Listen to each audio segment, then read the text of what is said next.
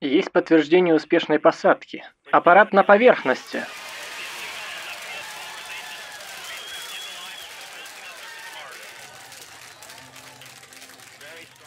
Opportunity при посадке сразу попала в яблочко.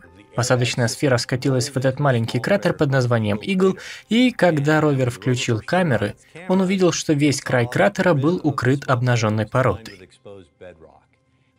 Мы впервые использовали микроскоп и сделали снимок, и поверхность Марса в той области оказалась покрыта чем-то мелким и круглым.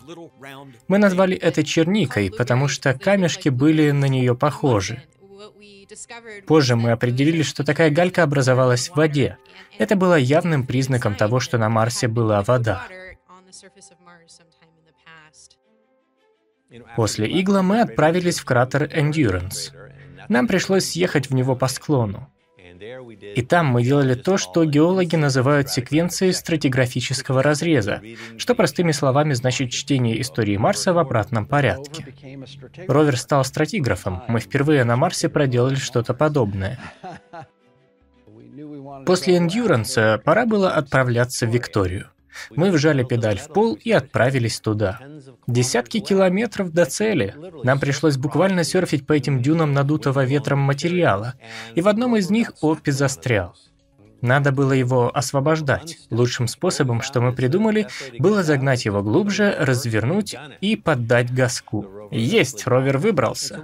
Нам пришлось изменить стратегию управления. Нужно было определять опасность в этих грунтовых дюнах. Мы подобрались к этому кратеру Виктория диаметром более километра и задумались, господи, как же нам попасть внутрь?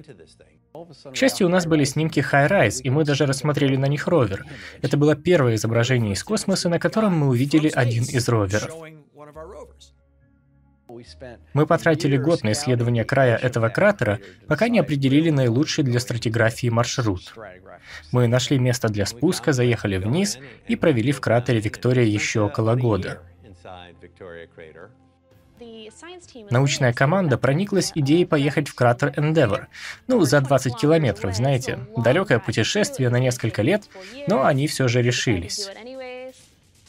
На нашем пути было слишком много этих опасных дюн, так что пришлось проложить безопасный маршрут, который сперва уходил от кратера и только потом направлял нас к нему. Ну и, наконец, мы добрались к Эндевору, где было столько всего нового.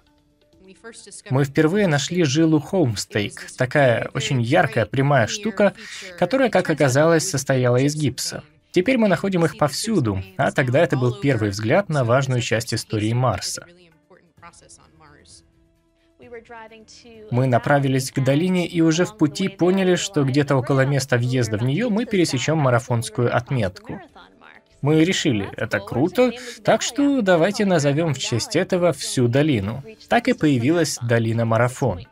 Именно там мы проехали марафонские 42 километра, впервые вне Земли. Мы продолжили съезжать по склонам вдоль кромки кратера, пока не выехали из него и не отправились к следующей долине, долине настойчивости. Ровер как раз изучал ее в момент потери связи. Мы говорили, мы продолжим управлять Opportunity, пока это не станет невозможным. Так все и получилось. Я очень горжусь этим. Мы заложили основы, которые послужат нам в будущих исследованиях качестве обложки к этому видео использован вот этот рисунок одного из участников чата.